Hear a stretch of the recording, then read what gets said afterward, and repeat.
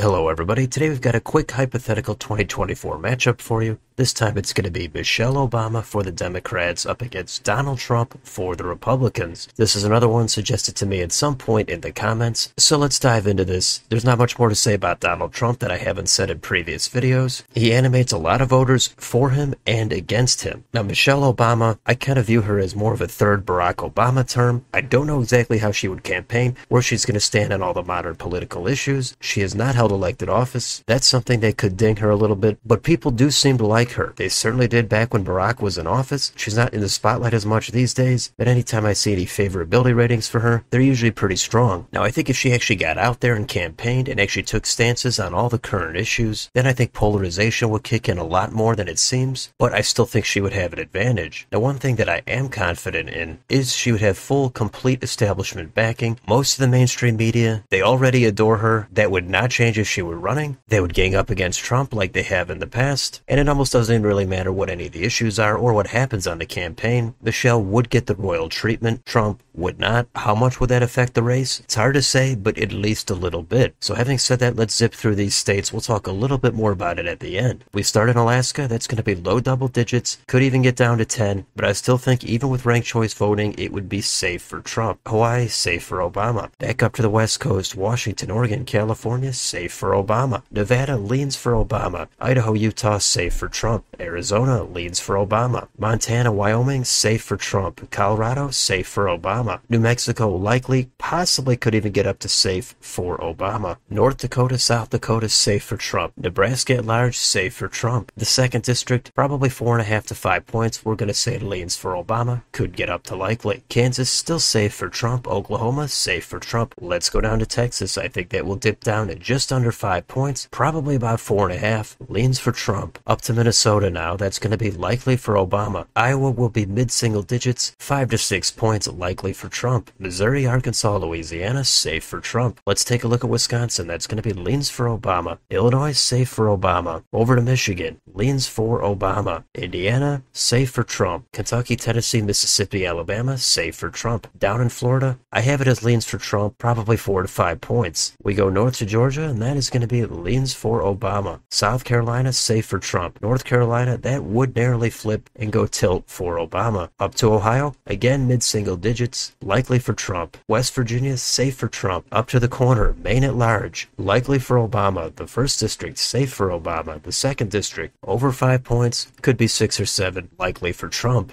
New Hampshire, high single digits, at least 8, could even get to 9 or 10, likely for Obama. Now we've got the blue states Vermont, New York, Massachusetts, Connecticut, Rhode Island, New Jersey, Delaware, Maryland, and Washington, D.C. Easy call, safe for Obama. Pennsylvania, now that is going to be leans for Obama. Last state, Virginia, I'm going to say high single digits. I can't even rule out 10 points, but it's going to be likely for Obama. And that is the final total. That comes out to 319 for Michelle Obama, 219 for Donald Trump. So there's not a whole lot more to say about this. I don't see how Trump overcomes his scandals as well as the negative media coverage combined with the positive media coverage of Obama. Michelle's also going to get some better black turnout in the South. That's going to flip North Carolina. But for the most part, polarization is very strong. She's not going to sweep all these states, but she is going to do about one to three points better across most of these states. I don't think she's going to win Wisconsin by nine or ten points. I don't think she would flip Texas, but you never know about some of these margins. It is hard to picture a scenario where Trump wins this. Maybe Nevada gets down to its tilt, but I don't see Trump doing much better than this. But this is just my impression based on whatever interpretation I have of this matchup. You might emphasize different things. Again, maybe Michelle Obama collapses if she actually tried to run a national campaign, but I think it would just be more of the same, where she's a great establishment candidate, speaks to certain progressive issues to try to get their vote,